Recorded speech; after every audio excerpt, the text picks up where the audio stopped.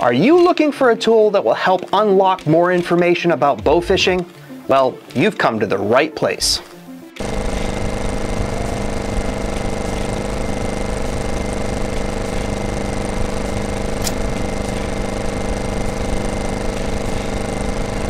Oh man, I can't believe I just missed that. Building a greater understanding and appreciation for the sport of bow fishing typically comes from a mixture of experience and education, and we're here to share both of these with you. For example, our videos will always focus on things that will make you a better bow fisher, and today that focus will be on navigating our website at twibowfishing.com. Now of course promoting our videos is the primary goal, but there's even more here to explore, including two very cool areas related to our events calendar and our records pages. So let's dive into the events calendar first. From our homepage you can see that we have our videos featured, and if you want to spend some time there please do.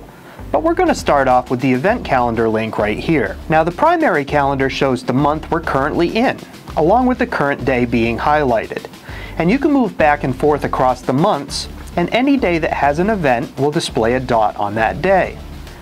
When you choose the day, you will see the event or maybe even multiple events. And each event can then be selected to get more information.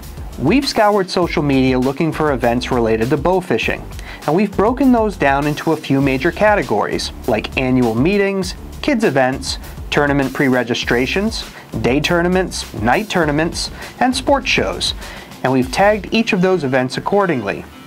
Click on the tag search bar below the calendar and you can choose any one of those categories. Or you can choose a state and will only display events for that particular state.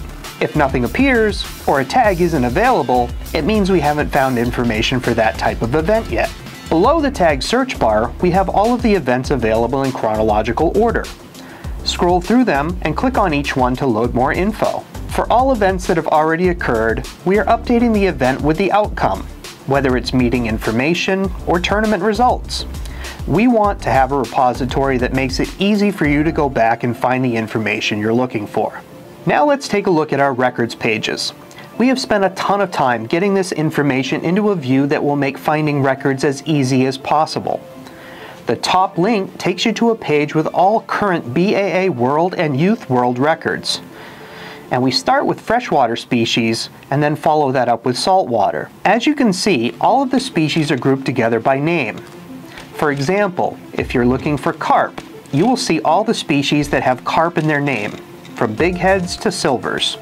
And there's no need to jump between adult and youth categories on the BAA pages, as they are all right here. If we back up, we can also choose an individual state and see a similar view where the adult and youth records are listed side by side. We've also noted if the fish is a world record or a youth world record on each page with a set of asterisks. In addition, for states that have actual state records, we've included that information for comparison. As many times a person will set a BAA record and not be familiar with the process to register it for a state record as well. So we've set a link on all of these pages to take you to that information also. Here's a great example. If we look at the state of Wisconsin, there are BAA records, BAA youth records, Wisconsin Bowfishing Association records, and true Wisconsin state records. And in some cases, they are all different. If you want to learn more about submitting your fish as a new record, click on the top of the column and it will bring up the informational page to help you get your record submitted. Now, if you're wondering how we plan to keep up with all of this information as things change, we've set a series of web page trackers to alert us if anything changes on the pages managed by each organization.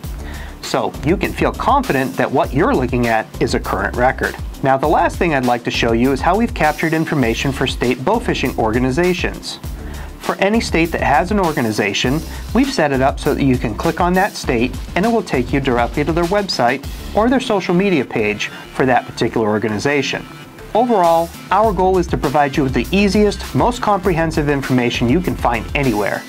There are many other places to get bits and pieces of this information, but nothing is as complete or as intuitive as what we have here at twibowfishing.com. There you have it, and while our website will be consistently updated, you now have immediate access to prime information without having to scour social media.